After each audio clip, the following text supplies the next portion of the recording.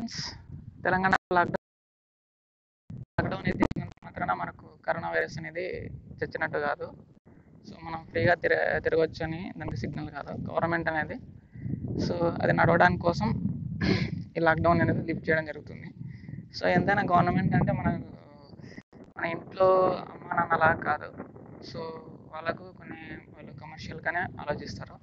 So ఇంట్లో వాళ్ళైతే so డబ్బులు పోయినా కూడా పర్వాలేదు. పిల్లలు బాగుండాలి ఆరోగ్యం బాగుండాలని ఆలోచిస్తారు కాబట్టి సో కరోనా వైరస్ అనేది అది పోదు. ఎప్పటికీ కూడా పోవడానికి అవకాశం లేదు. ఎందుకంటే ఇది సోషల్ సో గాలి ద్వారా సో వ్యాపిస్తుంది కాబట్టి. సో మనం థర్డ్ వేవ్ రాకుండా మనం జాగ్రత్తగా ఉండాలి. సో లాక్డౌన్ ఎత్తేసారు మళ్ళీ బాగా విచలవిడిగా తిరగవచ్చు అనుకుంటే మాత్రం మనకు చాలా ఇబ్బంది అనేది ఉంటుంది దీని నుంచి.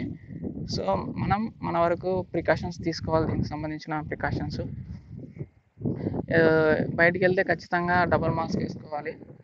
సోషల్ డిస్టెన్స్ అనేది పాటించాలి ఖచ్చితంగా.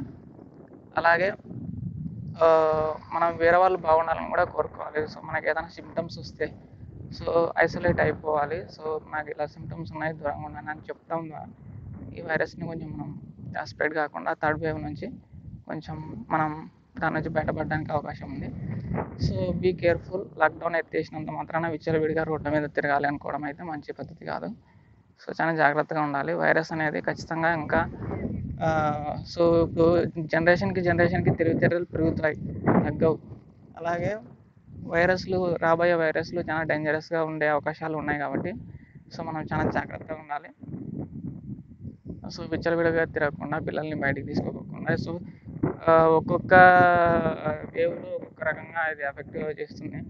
సో పిల్లల్ని సో పిల్లల్ని అఫెక్ట్ కాదనుకోవడం అనేది తప్పు.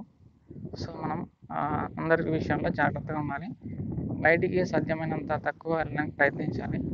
వెళ్తే సోషల్ డిస్టెన్స్ పాటించాలి. మాస్క్ అనేది డబల్ మాస్క్ వేసుకోవాలి. సో ఇవన్నీ చేయాలి. గవర్నమెంట్ ఇవన్నీ చెప్పదు. గవర్నమెంట్ మనకు అమ్మ నాన్న కాదు కదా. అన్ని విషయాలు జాగ్రత్త నాన్న బయటికి వెళ్ళేటప్పుడు అది అని చెప్పడానికి. సో మనమే మనం ఇవి జాగ్రత్తలు తీసుకోవాలి. చాలా కేర్ఫుల్గా ఉండాలి.